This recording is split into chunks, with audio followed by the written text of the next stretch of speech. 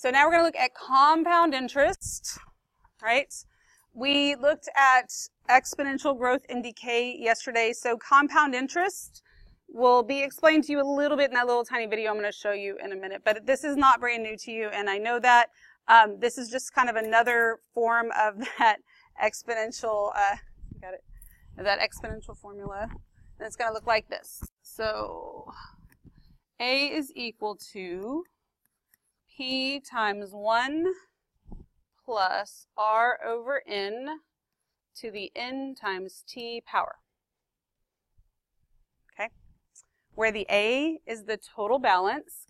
So in this case, we are talking about money. We're talking about, oops, about a bank account or maybe a credit card bill or something like that, where the other one, we could still have exponential growth and decay, and one of them we were talking about a trash dumpster, right? But this is really used for um, money. All right, so P is the principal or initial amount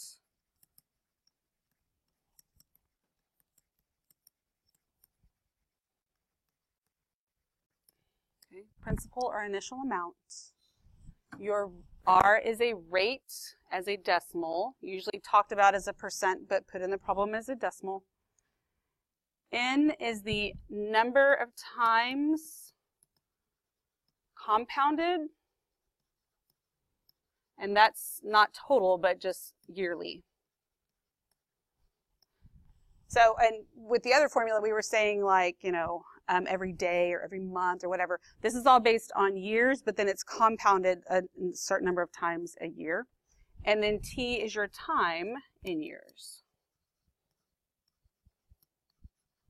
So if you remember that half-life, that half-life was actually a decay, but that we where we had to play with that exponent to make the, the time come out correctly because we had to divide it by three. Um, the compound interest formula just kind of takes care of that in itself.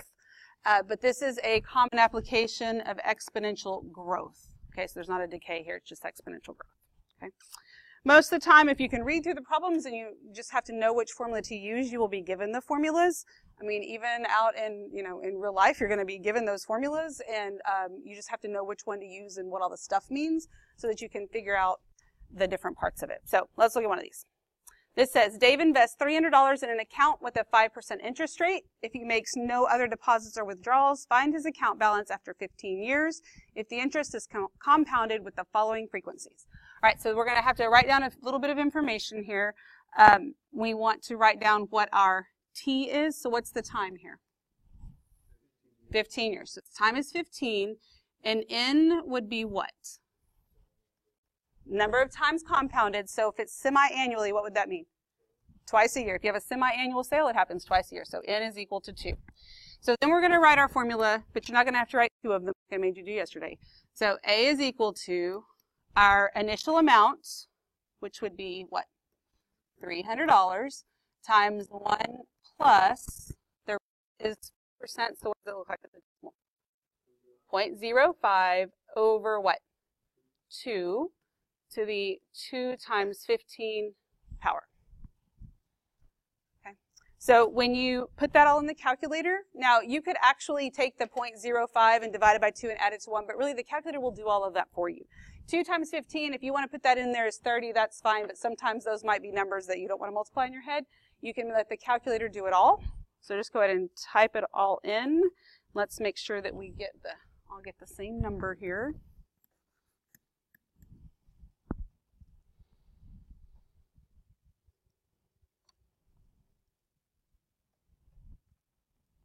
You got something, Hector? You tell me what you got?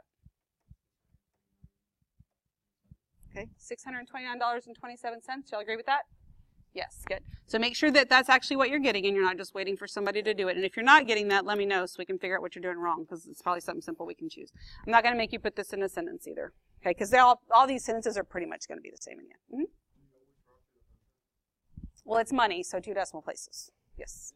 Mm -hmm. It's it's two like officially the official the real dollar sign, but sometimes it's done as one. Sometimes I write it as one also. But I think officially it's two. But I think either one of them is acceptable. All right, so I want you to do B.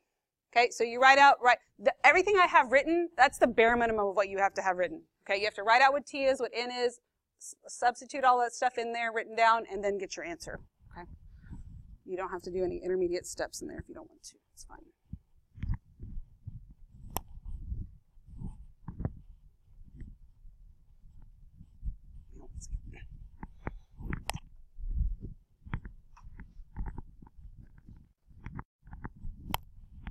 You not get that?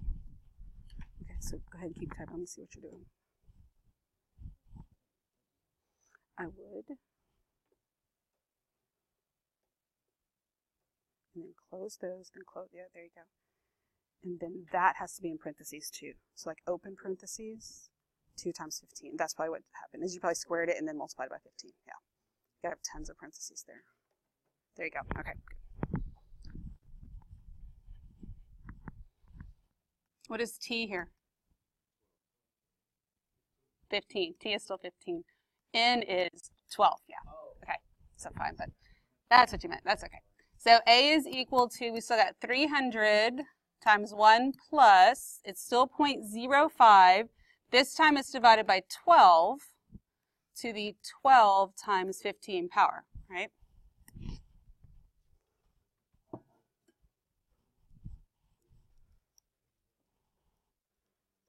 Jose, you got a number? All right, y'all agree with that? Yes, $634 and 11 cents. If you did not get that, here's what you want to make sure you do on this particular calculator. Now, if you have a different calculator that you're using, maybe it's going to act a little bit differently. Um, I actually have some that I've ordered that are coming in that are going to work out a little nicer. But here's, here's the common mistake the parentheses right here. Once you take this to the exponent, if you're going to do 12 times 15 up there, you have to do, once you have your little caret top, open parentheses, 12 times 15, close parentheses. Otherwise, you're taking it to the 12th power, and then after you do that, it's multiplying by 15. Okay? Does that make sense? So that's probably, if you did not get it, probably what's happening with the parentheses there. well, you'll like the other ones a little bit better. Okay. Are we good with that? That makes sense? Yes? Okay, so we're not going to actually work to, we're just going to talk about what the, the little things down here would be. So um, if we've got $2,500 is deposited into the savings account, earning 8% annual interest, how much will be in the account at the end of 25 years of interest is compounded with the following frequencies? All right, so what is T here? 25. What is N? 4. Quarterly means 4. Okay, we had a little confusion about that the other day because somebody said, well, I thought it was 3 because every, if the quarters, that's every 3 months. But yes, it is every 3 months, but it's quarterly, which means 4. Like there's 4 of them. So it had happens 4 times a year. It is every 3 months, but it's 4 times a year, and that's what we're looking at there. Okay? Um, so for B, T is still 25, right? What would N be? 365. We just pretend like leap year doesn't exist. Okay. Yeah, we're not going to work the whole problem. I don't think you know. I mean, this isn't brand new, right? It's kind of plug and chug. We just got to make sure we're using the right pieces and you know which ones that you're actually doing here. Okay. All right. So then let's look at this here. It says when Amelia turned six, her grandparents opened a college account for, for her with an initial deposit of $500. The account earned 3.2% interest compounded bi-monthly. If her grandparents made no other deposits or withdrawals, how much money will be in the account when Amelia can access at age 18? All right, so what is what does T equal? 12 because they started it when she was 6. She gets to access it when she's 18. So T is equal to 12. Now N is equal to, what is N equal? Bi-monthly. What does bi-monthly mean? Twice a month. Okay. Now here's here's a very interesting point about this. Bi-monthly, twice a month. That's what I've always understood it to be. That's what that's what the intention of this problem is. So then somebody asked me the other day afterwards. They were like, "Well, but by is it?" He said, "Is it two times a month or every two months?" I said, "It's two times a month." He said, "But if you get paid bi-weekly, you get paid every two weeks." And I said, "You're right." And so then I thought, okay, but I know that bi-monthly is twice a month but it can't, but then it means the same thing as biweekly, kind of, not exactly, but, um, so I thought, okay, whatever. So I went and asked somebody else, like, what is your understanding of this, right? Like, and so I kind of got the same thing. So we Googled it, and you know what it says? And there's even a long article from Webster's Dictionary that bi-monthly can mean twice a month or every two months. And biweekly can mean twice a week or every two weeks. So basically it's another example of the, the English language is stupid. And it can be very, very confusing. And so, I mean, even when the dictionary is giving an article that it could mean either one. So it could, and you could argue it. So what I landed on the other day when we went through all this is that bi-month, the intention of this question and what bi-monthly has, I've always understood it to mean, is twice a month. That's what we're going to use for bi-monthly right now. I'm actually literally going to do a little bit more investigation. I don't even know how and who I'm going to, but there's got to be a general understanding that everybody has to have if it's going to be ambiguous like that.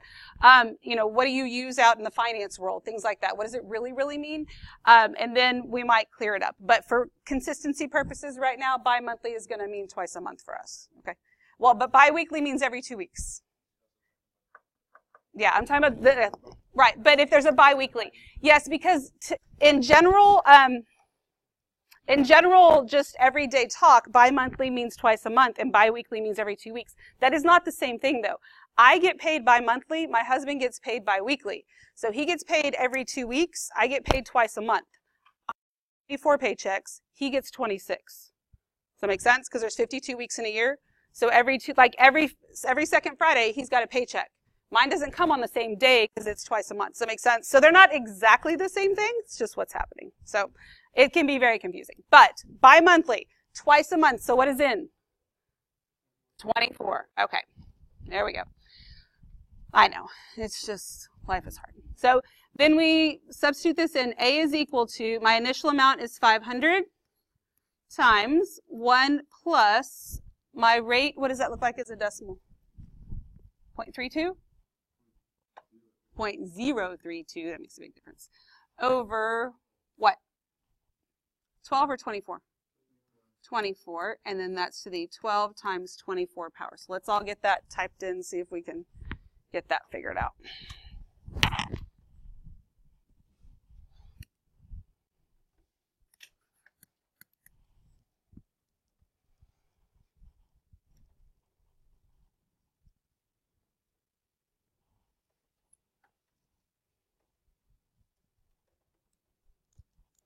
Michael Gutierrez, you got something? $733.88. Y'all agree with that? Yes, that is correct. So make sure you get that. Okay.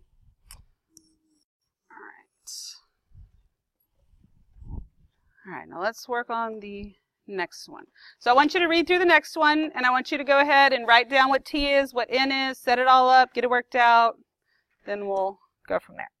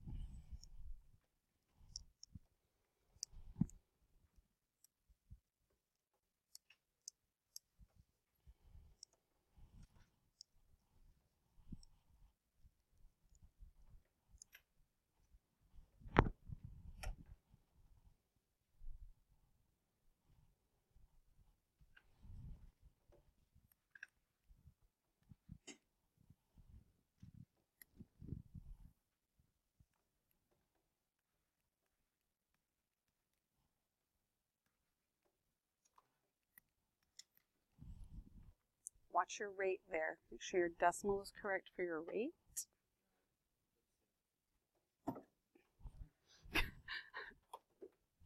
Trying to sneak an extra dollar in there.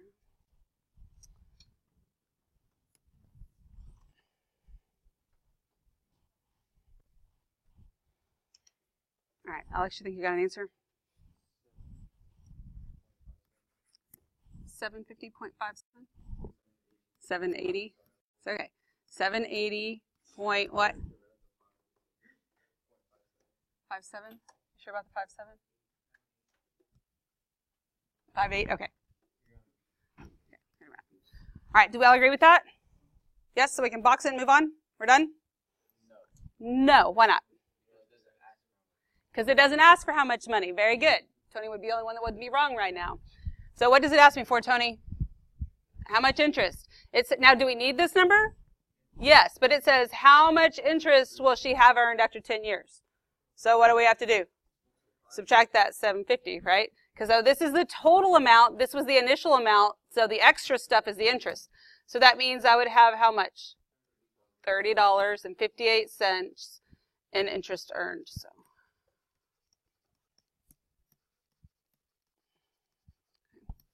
That is the actual answer. Make sure you read those questions carefully because yes, they're not that complicated because you can just substitute it in and whatever, but make sure that you. Interest is dumb. oh, memories. Okay, so let's look at number five. I don't know that we need to well, maybe we should just so we can make sure we type everything in right. Um, it says in 1990, Carter deposited $1,000 in an investment account that earns 2 and 3 eighths interest, annual interest, compounded quarterly. No other deposits or withdrawals were made. Find the balance of his account in 2025. All right, so I need T. What is T here?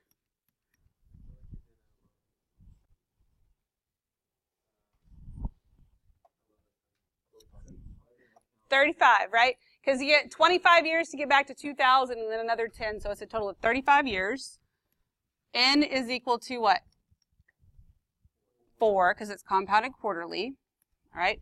Now let's talk about the rate. It's in a fraction. Now we could leave it in a fraction form that makes the percentages a little bit more complicated. What is 3 eighths as a decimal?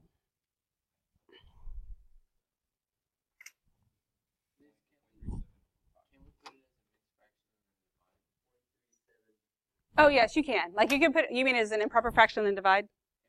Yeah, yeah. Yeah, either way. You can do 3 eighths and then just put the, put the 2 in front of it, or if you just do 3 eighths and then it's 2 point whatever you get, it's the same thing and you don't have to make it into an improper fraction. Does that make sense? So what is it? 0.375? Okay, so since it's a nice decimal, then I can use it as a decimal. If it was like 2 and a third percent, it would be repeating and we would have to handle it differently does that make sense to you? Because if you round then, it's a bad thing and your interest doesn't come out right. But this is actually 2.375%. Okay, that's another way to look at it. So it's good when it comes out to a decent decimal. That way we can actually substitute it into our problem. All right, so then I'm going to substitute this in. A is equal to 1,000 is my initial amount. Then 1 plus, my rate is a decimal. Is it 2.375? No, what is it? 0.02375 divided by what? 4 to the 4 times 35 power. Let's go ahead and type all that in.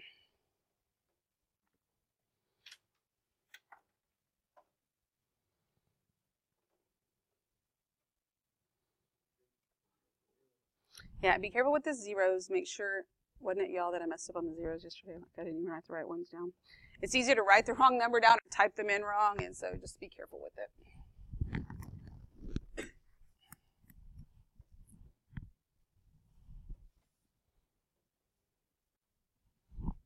Michael Rodriguez, can you tell me what you got? What'd you got? Point, what? 55? Okay. So you got 2290, 55, is that right? Yeah. Comma there, and there you go. All right, good deal. Everybody got that? Almost.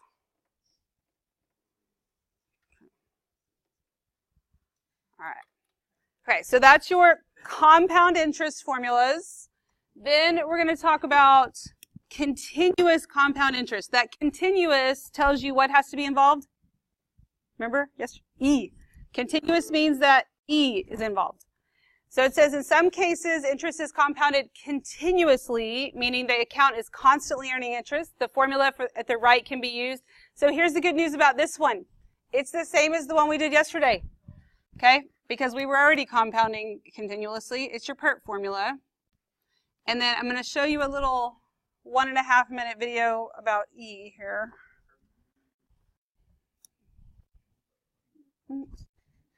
Maybe, except where my video go. We've made a video about pi, the ratio of a circle's circumference to its diameter. But there's a less famous, but equally fundamental number known to anyone who's taken high school algebra. It's about 2.7182818288459045, and, and, and so on, and it was first defined by Jacob Bernoulli, but later Leonhard Euler called it E, and the name stuck. Bernoulli first defined E through compound interest.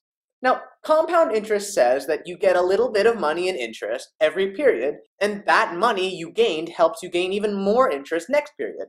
In other words, your interest compounds.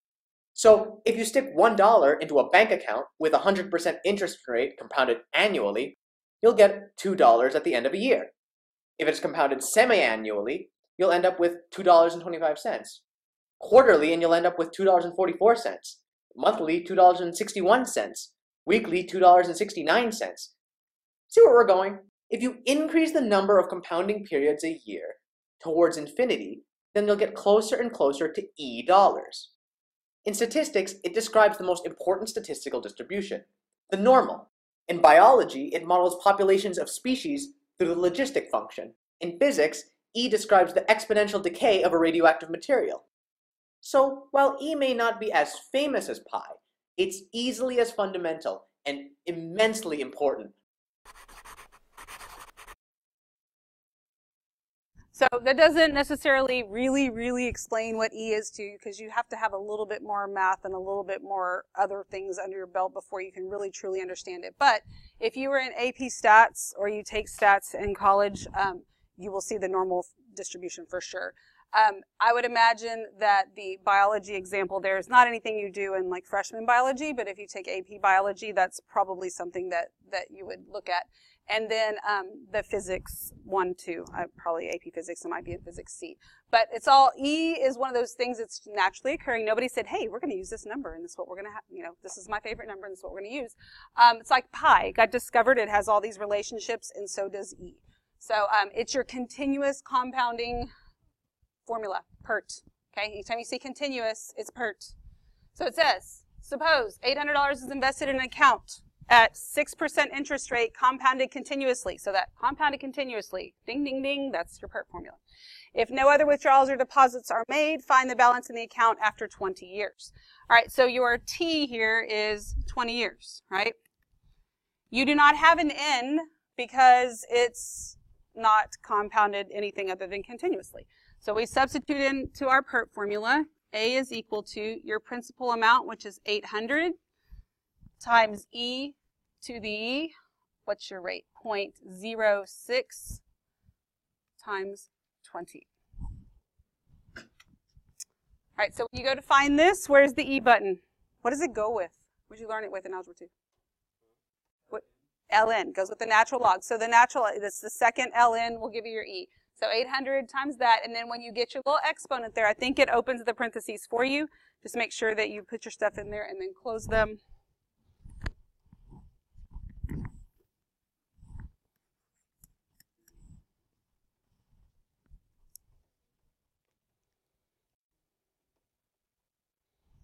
Zainab, can you tell me what you got?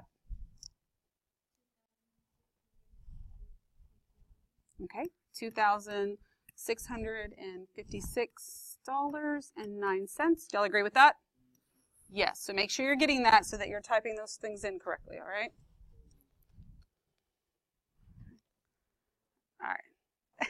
Thank you for. All right, so then uh, to find the balance in the account that, you know, it's uh, going to be the same thing. I think we can skip that one. So I want to look at number eight. But before you do anything on number eight, let's, I want you to read it and we're going to look at the options. Investing $1,500 your investment account. Determine which interest rates and compound periods shown to the left would be her best investment option. We have option A and we have option B. So I want you to just read option A, which is 5.5% annual interest compounded monthly. Option B is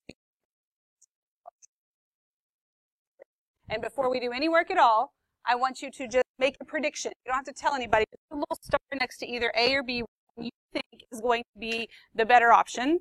And I'm not going to call you out on it. It's okay to be wrong because you're just trying to make an educated guess. And then we're going to work it out and see what happens. Okay? Now, um, y'all are sitting, let's see, I'm going to number it here. One, A, A, B, A, B, A, B, A, B, A. So I want you to, whatever I gave you, you're either going to find what, what happens with option A or find what happens with option B. You only have to do one of them. Okay, so whether I gave you A or B, decide which one makes the most sense for you to use, substitute your stuff in, come up with amounts, and then we'll what happens.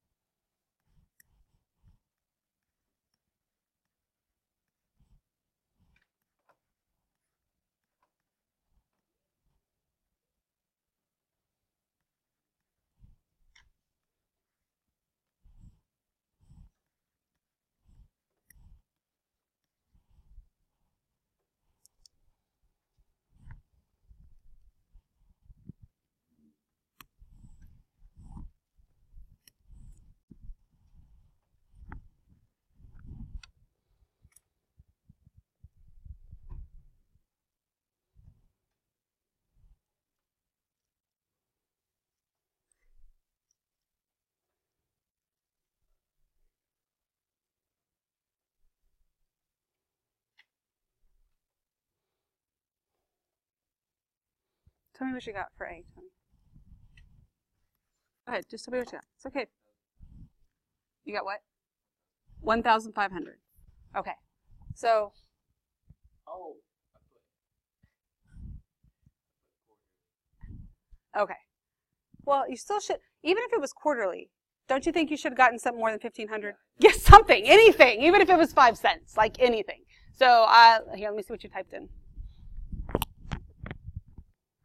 But it's funny because that's that's happened to a lot of people. And uh, point one divide. Okay, even then. That's weird that it's not even. Okay, we'll change it. I don't. I don't know what you did wrong there. All right. So Juan, what'd you get for A? Point zero eight. Okay. The rest of the A people, y'all agree with that? Okay. So my B people. Who are my B people? Are you a B people? Give me what you got. 3,000. And how many cents? 86. All right. So my B people, y'all agree with that? Yes. Okay. So looking at those two things, let's think about your prediction at the beginning. So did, I would imagine, as usual, some of you were right, some of you were wrong, right? And some of it was a wild guess. But whether you were right or wrong, did you expect it to be that different? That's a huge difference, wouldn't you agree? And so having a basic, under, you know, when, you're, when am I ever going to use this stuff? This kind of stuff is like seriously applicable to you because at some point you're going to be looking at investments, even if you're not a stockbroker, you still might want to think about retirement at some point or whatever. And when people are trying to sell you on these different plans, um, if they're a good salesman, because they're making money off you, so they're going to be a salesman, they can talk you in circles until you're confused and you don't know what's what and everything sounds great, right? Um, but you got to decide if it's really what is best for you. So under, having an understanding of what continuous means and what quarterly and what compounded even means, um, so that you can figure out what would make the most sense to you, because just because it sounds good doesn't mean it actually turns out to be good. How many of you thought that B would be the best option? Anybody? yeah, that continuous sounds pretty good. Like, oh, it's always earning interest. But it turns out to be, I mean, that's about half as much. It's not great at all, right? So to be able to actually calculate it, I mean, you'll have the formulas, you'll have a calculator, probably even have something you just type it all in and give it to you, but at least know how to look at it and that it could be very, very different. So then we have to actually answer the question here. And so it says, determine which, so we'll say option A is a better investment.